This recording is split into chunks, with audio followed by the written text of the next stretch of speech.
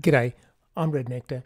I have a Hyperflex cluster here with the rather unimaginative name of Cisco underscore Hyperflex. I'd like to change that, but I can't change it in Hyperflex Connect.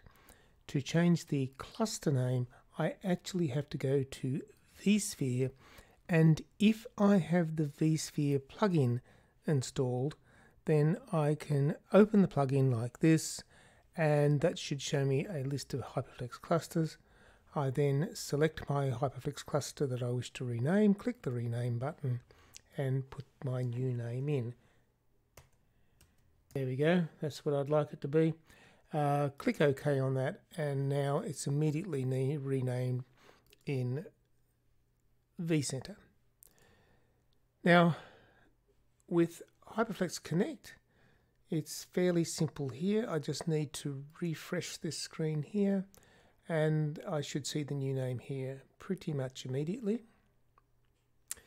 There it is. Uh, in Intersight, it's a little bit more, um, takes a little longer, uh, but uh, maybe after a couple of refreshes here, um, it may it may take longer than what I've got to uh, give you the time. Uh, I just have to trust me that uh, that this will refresh eventually.